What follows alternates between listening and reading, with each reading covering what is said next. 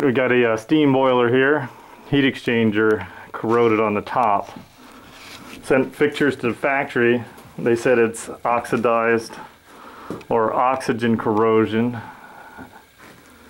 And uh, the boiler is 14 years old, cast iron. Here's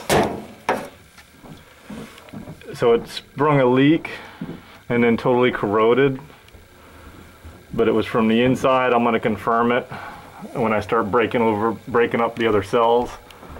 Here it was starting to leak. Factory says you get a pinhole steam and then the steam just accelerates the corrosion really fast on the outside. We'll find out when I break it open because I'm changing the heat exchanger on this one.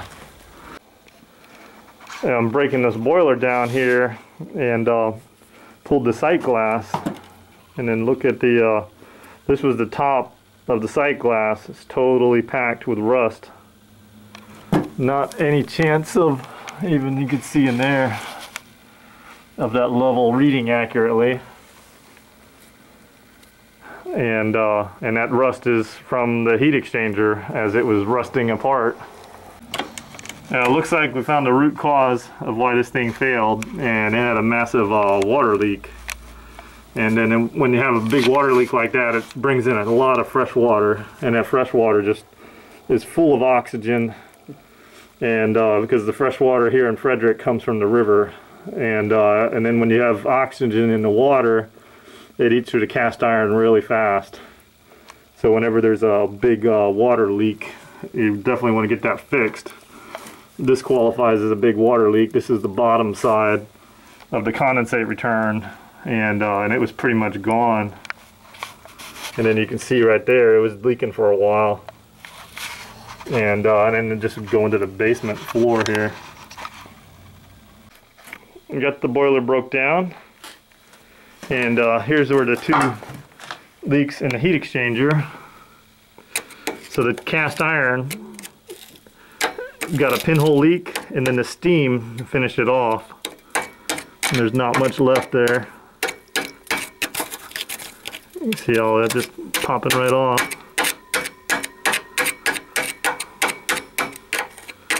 This side just was starting to leak very small. This side had the bigger leak right here. Look right here. You can see right there, that was where the oxygen corrosion was taking place. Same thing on that side there. And then the steam pipe is actually in pretty good shape because uh, the steam is quite pure. This was more of a water quality issue which caused cast iron to rot out at 14 years. We got the uh, heat exchanger broke down here. Look inside. There's where we had the major corrosion that I'm starting to see spots that were starting to do that same thing. Let me show you here.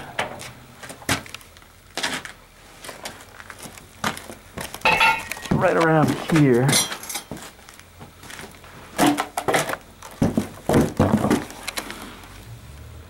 You see right there, it's starting to flake off.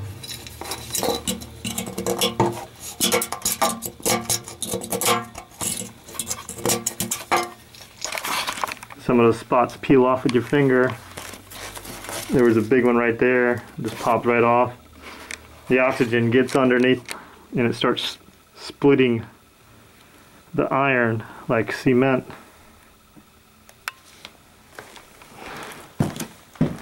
Here's the condensate side.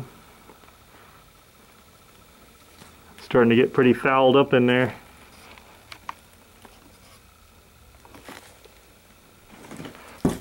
Whenever a uh, boiler's worked on, you have to look at the condensate.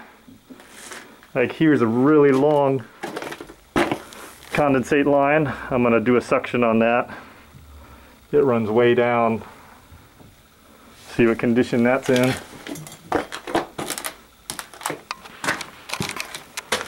right here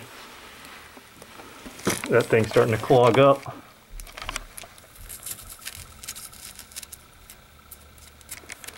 So I'm gonna clean that out. This one here needs to be replaced. Here's what happened. The pipe got buried in the dirt from the wall. And that's always a bad thing because it brings in moisture and keeps that pipe wet. So now there's like nothing left. The iron is basically turned into sponge on the condensate line, so got to change that pipe. We got the new boiler in. It came in in uh, two pieces where it split right here and then we used a, uh, a rebuild kit to put it together. Fixed the slab here. And before it was just sitting on a block and it was going off level.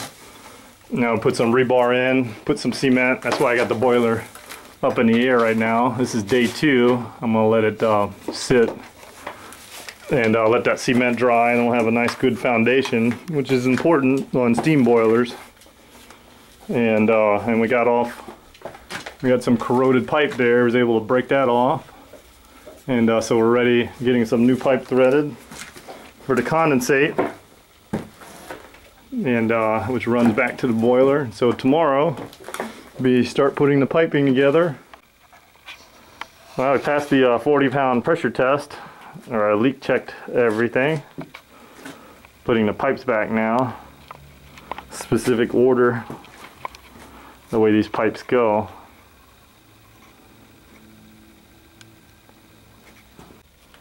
It's important that all these condensate lines stay clean. And uh, here's a long one. It's a one inch. So I'm gonna clean it out with high power suction. I'll see what the flow is like. And then if the flow is bad, I'll run a snake through it.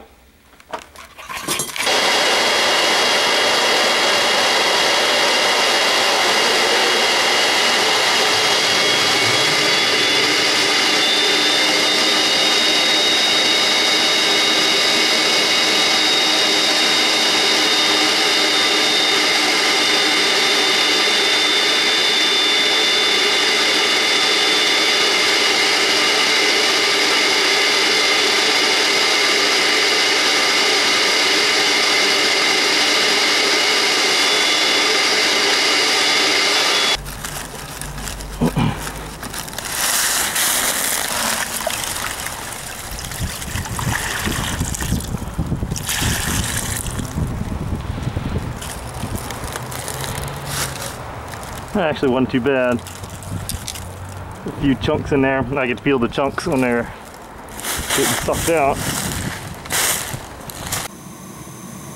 Got the boiler fired up now.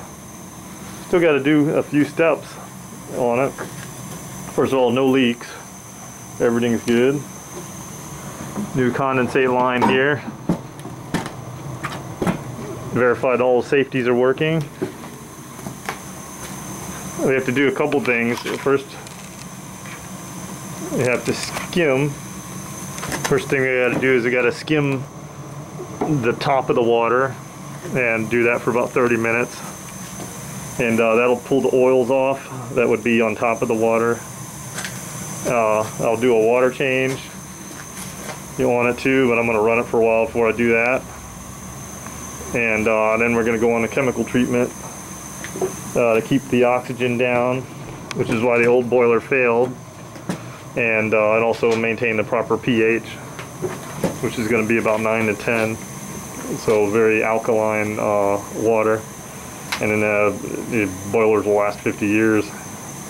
You maintain the water quality in them. Okay, next we're going to do a skim. We got going on right here. Basically, just skimming off the top of the water. And that gets the oil out of the boiler.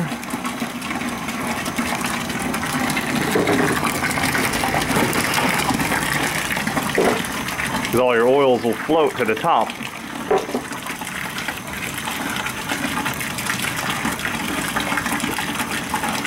And do this for a little bit.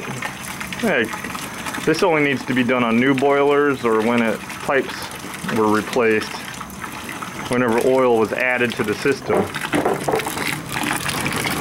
Because oil, there's an interesting video on uh, YouTube that shows the effect of um, oil on uh, water. It basically acts like a sheen and makes the uh, the steam bubbles not even. So I'm, now I'm adding a little bit.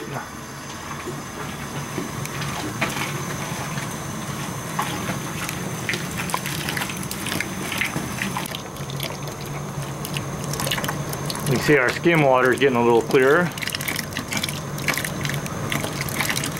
Grabbing the oil off top of the water. I'll do this about 10 more minutes.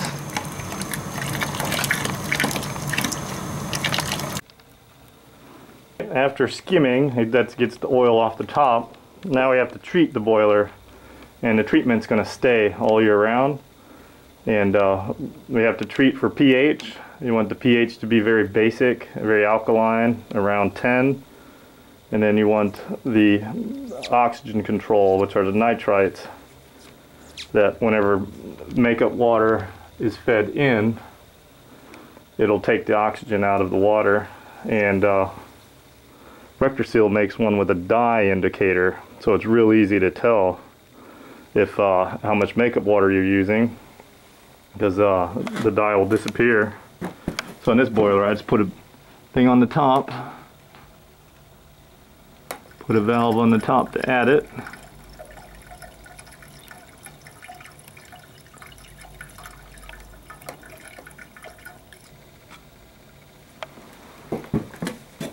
And I'm gonna chase that with some water so I don't corrode my valve. The boiler's fixed up. One other thing, it has a mercury thermostat, which is going to short cycle. And I noticed it takes this thing about 30 minutes before it builds up enough pressure to get the steam all the way to the top floor. This feeds four apartments. So I'm going to swap out the thermostat and go with the Honeywell, set it for steam, and the steam's going to limit to a one hour cycle. And that way every time it runs, it can get enough head to heat the entire building evenly rather than just short cycle and heat the first floor. So everything's looking good. This job's turning out well. I hope you liked the video. Thanks for watching.